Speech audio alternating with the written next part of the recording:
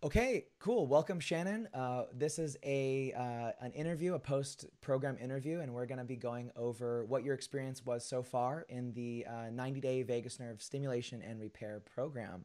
So, um, so welcome. I'm really excited to interview you about your experience with the um, with the program as a whole, with the vagus nerve stimulation uh, technology we used, um, and your experience and kind of why you initially signed up for the program, and to help others understand what it's really like going through a vagus nerve centric uh, program where it really focuses okay. on that uh, that exclusively, um, with a few other things thrown in. So, um, so yeah, initially, uh, let us know like what was um, uh, what was your initial reason for for joining the program? What was the main thing you were hoping to accomplish by joining? Okay. Um, my chiropractor is the first one that introduced me to vagus nerve and what she had been doing research about, you know, and learning about it.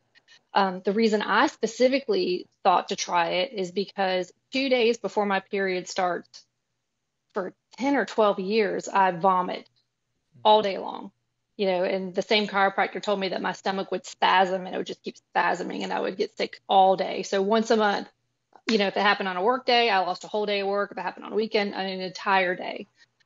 So that's what I was really trying to fix. And I feel like over the 10 years, 12 years I was having this issue, I feel like I had tried everything I could try to kind of eliminate it. So, um, so that's why I reached out to you and joined the program to try to figure that out. Fantastic, fantastic. So yeah, and for, yeah, from my recollection, it was really long term um, issue. And when we when we initially consulted with each other, when we had our first initial consultation phone call, um, you had you had kind of brought me up to speed on what the problems were. Um, and the, the initial problems were that you were getting really nauseous beforehand. So about two, three, two to three days prior to your period developing, you would get really extreme bouts of nausea. Is that correct? That is correct. And I would get a really severe pain right on this part of my neck. And, you know, I could try to take pain relievers and it wouldn't do it. The only thing that would even give me a little relief was to push on it and lay on it and try to get as much pressure on it as I could. But, um, but it still wouldn't, it wouldn't resolve itself until everything had worked its course. Got you. So, yeah. And then and you had tried. I remember you had tried many um, different drugs to help mm-hmm. with it. Um, I believe like anti-nausea uh, medication as well was pretty common. Um, and so on that on that first consultation, what we did is we developed a plan, a plan of action, essentially, like kind of like a 90-day plan. Um, and where where we kind of worked together on this was that we're gonna look at how to initially influence the the vagus nerve because there was an, an initial suspicion that because the vagus nerve does connect to um, to like the ovaries and the release of progesterone um, in in a monthly cycle, that it does help regulate those glands. That in in part by stimulating it, it may help to provide some initial change and some initial movement in the process. Um, and from your understanding, that that seemed to kind of to resonate with you um, in terms of what might help. Is that correct? Right. When I would do my own research, and it took me a long time to figure this out. You know, if you got sick the day your period started, maybe someone else could put two and two together faster than I could. But because it was two days prior, you know, am I eating too much sugar? What did I do yesterday? Was it the glass of wine? I mean, and I'm horrible about tracking. So I, it took me embarrassingly long time to figure out what what was causing this problem once I figured out exactly, and also my period was changing. It was going to, you know, three weeks apart instead of four weeks apart. So I really wasn't tying it together because it wasn't, you know, exactly 28 days apart or whatever was happening. So I um, did my research and looked, and, you know, two days before your period starts is when your estrogen and your progesterone spike. Hmm. So then it occurred to me that was the fastest way for your body to eliminate something like that is getting sick. So two days before, I was having this huge spike of hormones, and then you know I would my body would need to get rid of it, and that's the quickest way to do it. So then it all started clicking, and you know when we started talking about it and putting putting it on paper. Okay, great. So the first so and how we did it is we we separated our 90 days together into three different chunks. So we said there's mm-hmm. going to be three main cycles we're going to go through. So initially, you know, the first 28 days the first 30 day period, um, it, it's not to expect a whole bunch of change, right? We're not expecting to initially fix it or completely eradicate the the nausea, but we are looking for some initial differences. And I remember there was an interesting difference. Do you remember what that was in that first? If period? I recall, I had my vomiting like mid cycle. Mm-hmm. Um, it was completely unexpected. It was not the right time to have it. But when I told you that, you said movement is movement. It's when you're stagnant that it's the problem. So if things are changing, we're changing something, and something is, you know, is you know, mm-hmm. getting yeah. better. Yeah. Um, and then also over the course, not to jump ahead, but my period started going back to four weeks. So those are two changes that happened over the over the cycle. Yeah, and I, I remember. So yeah, initially, it's usually so we start at like there's day one, and then the average time for a period is usually about 27 days. Um, mm-hmm. I, I, I think I recall correctly that you have a, a, a faster than normal period, generally speaking. It was about 23 days, correct? Right. On average. That's correct. I would get sick on day 21 and then 23 my period would start. Right. So it's a relatively fast cycle. So that's a lot more nausea in that period of time um, than if it was a 27 day cycle. Um, and so right. I think about day 14, it you actually had a, an initial spike of nausea. Mm-hmm. Um, and it lasted Correct. for one day. And so then right. that happened. So that was an indicator of something's shifting here, right? Mm-hmm. And then I believe that on the same, about the same time, about day 21, 22, 23, that you did have the your actual period at that time, correct? Correct. Mm-hmm. Yeah. Okay. Right. Yes. And how that that one wasn't much different, right? It was still about the same, but it wasn't wasn't as right. I think maybe I got sick. I right. I think I got sick once or twice, but then it mm-hmm. stopped. And usually I have to take exhaustive measures to make it to stop.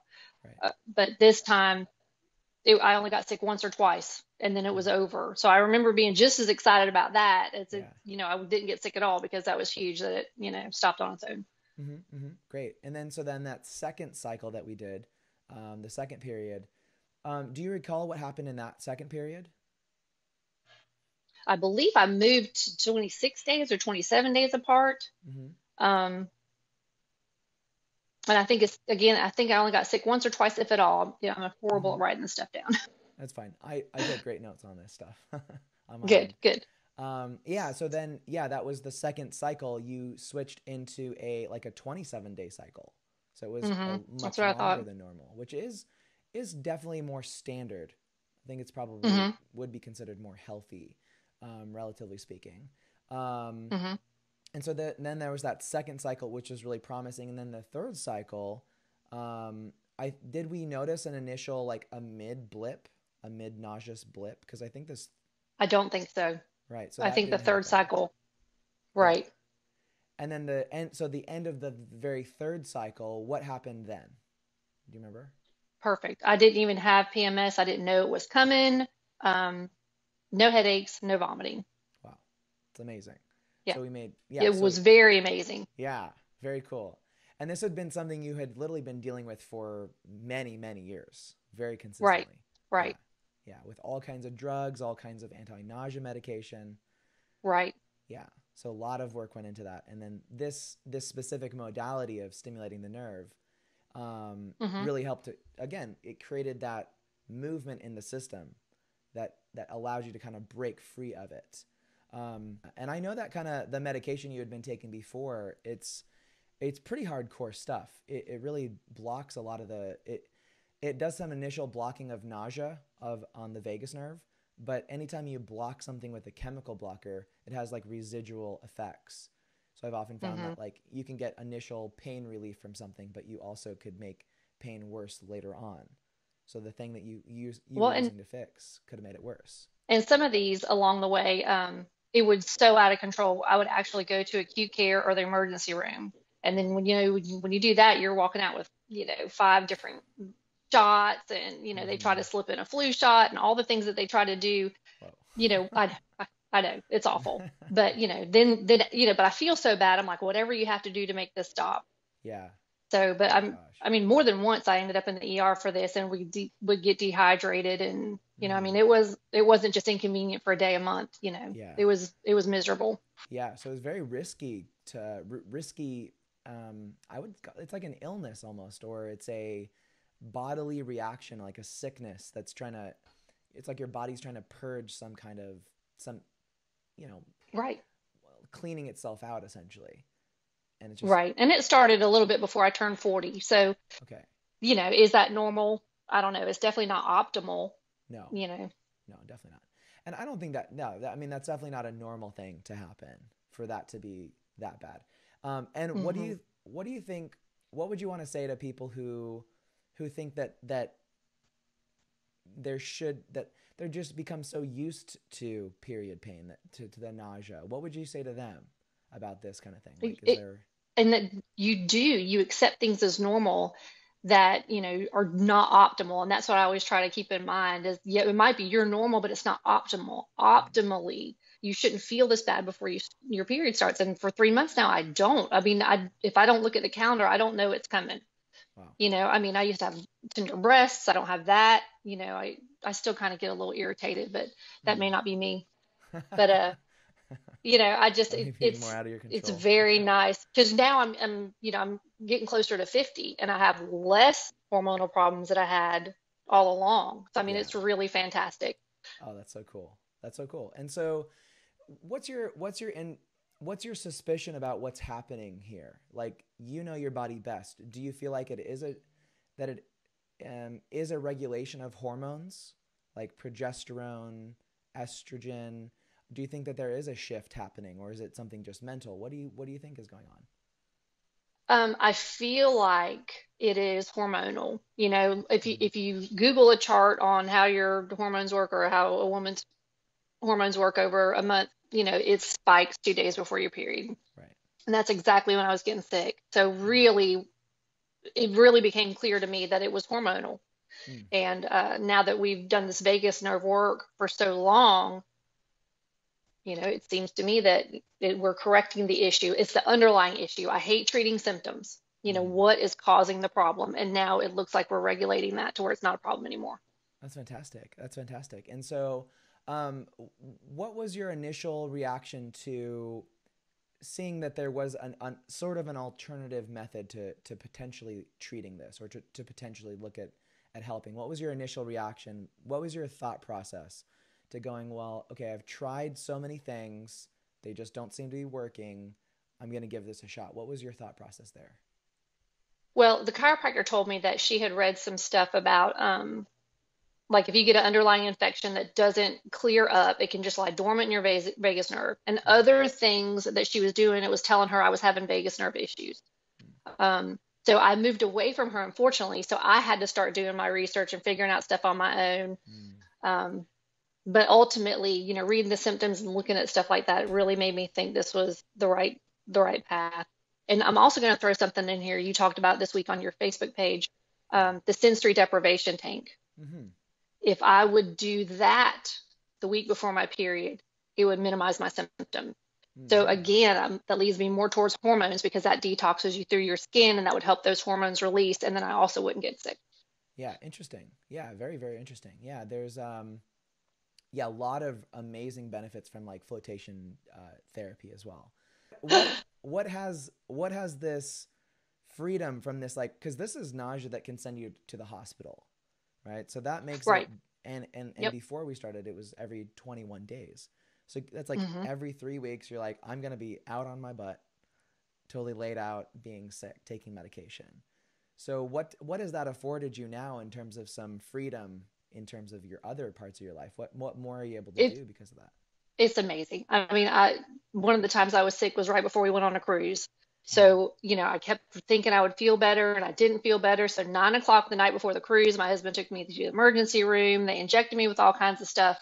Um, then when I finally felt better the next morning, I had to pack for a week long cruise in two hours. Um, I've missed, you know, we're big SEC basketball fans. I've missed games because I, you know, I'm not going to get between, you know, 12 people that I have to climb over to get to a restroom to get sick, you know. So, I mean, it's just, and now I don't have to worry about that. I know I can make my plans. and I don't have to look at the calendar and work stuff out. mm, beautiful, beautiful. Okay, tell me a little bit more about the sleep. How's the sleep improved for you? Okay. Very much. Um, Huh. the first couple of weeks, um, I was using the app. You know, the little chart tells you deep sleeps, and maybe I was getting one or two deep Is sleeps. this the Oura Ring or the Apple Watch? No, it's the Apple Watch. Apple Watch. Okay. Good. Yep. So now when I look at it, um, I mean, I hit deep sleeps. It's a beautiful cycle of, Hmm. you know, Hmm. of deep sleep throughout the night. Um, but if I don't do it, you know, if I get to bed late or I don't read or, you know, for whatever reason I skip it, Yeah. you can see it. Yeah. You can see it. Wow. That's that's impressive. So yeah, hmm this is this has probably had some pretty profound um, effects outside of just your health. So have has this impacted like your personal life, allowed you to to be le- like have less stress, perform better? What are some other external benefits from being free of this problem? I feel like I have less stress. You know, I feel calmer. Um, but you know, I don't know that to be true. I know I'm getting better sleep because I can see it on my, you know, with my Apple Watch. hmm You know, and I love that stuff. Every morning I hop up and check it because I just think it's so interesting. You know, oh, I had a glass of wine. Look at how it interrupted my sleep. You know, so Yeah. I enjoy that feedback and you know being able to see it. hmm That's beautiful. Um, and so we, I think we started working together like it was last year. Um, and was there anything and was there any specific moment where you kind of where it clicked for you? You're like, wow, this is really powerful. Like there's something really powerful going on. Was there a moment in that process Well, I mean, the first time I got my period and I didn't have the week of PMS leading up to it, or the the awful headache, or the nausea, and you know, it always seemed to hit on Fridays and Saturdays. So I do payroll at my office on Friday, or I've lost a weekend day. So I mean, there were some payroll days where I just had to push through and put my head on my desk and stay at Mhm. work and get sick in the office bathroom. And Oh wow. so the first time I hit that, you know, had my period and didn't didn't have that leading up to it, it was it was very exciting. Wow, that's awesome. That's very cool. I, I love hearing that. Um, see, I told I told people, I told this. I'm so glad we're able You know what you're talk talking about about. I do know what I'm talking about. This is not my first time on the Yeah, radio. yeah. That's very cool. Um, cool. So, what what would your would, would there be any other things you'd want to tell people watching who, um, you know, maybe, I mean, there's a lot of people who are like perimenopausal who experience these kind of hormonal issues. Do you think hmm that there might be some help for them in this as well, who may have some varying I degrees of hormonal I would hope so. I mean, I would hope that I'm not the only person that gets this success from doing this program. So, you know, I I encourage you to try it because, you know, what if you do feel better? What if it does work? Right. Right. And I mean, as of as of the many years we've been doing that, there's very little side effects at all. Like it's really been an amazing Right. Yeah, I mean, I'm asked that. I'm like, I'm like, I have to scratch my head. I'm like, what are the side effects here? I mean, there's very few, really. Um, Yeah, I mean, I get I get the gel on my pajamas. yeah, you gotta clean off Is that a bad side effect? A little cleanup. Other than that, Yeah, that's that's right. awesome. That's very cool. Very cool. Well, hey, thank you so much, Shannon, for for hopping on here and sharing your story. Um, it's yeah, it's been really inspiring to see your your shifts and really to to to see you get a, a really important part of your life back. That you know tho- Really. those those days of your lives that may have been spent in the hospital now are spent. hmm What do you do on those days where you're just like you're like, dang, I just got another two three days free of the of the month. Yeah, I like, mean, yeah. Yeah, and then I don't feel bad. You know, I hate feeling bad. My pain yeah, threshold is like low. So I, hmm you know, I don't like feeling bad and I don't like having to take something, you know, to make me not feel bad, but I will. I'll take whatever I can put my hands on because I don't mm, like feeling bad. hmm But I'm happy now that I'm not having to take something and I'm not feeling bad. That's fantastic. Super cool. Super cool. Well, It hey, thanks really so is. much It really is. yeah, I'm I'm stoked to hear this. So, um, thank you so much. It's so good to see you, and um, I, I look forward to yeah, maybe we'll do a check in in a year and see see a Sure. follow up. So I would love to do that. Thank you so much. Sounds great. All right. Thank you. Thank you so much. Bye. Bye. Mhm.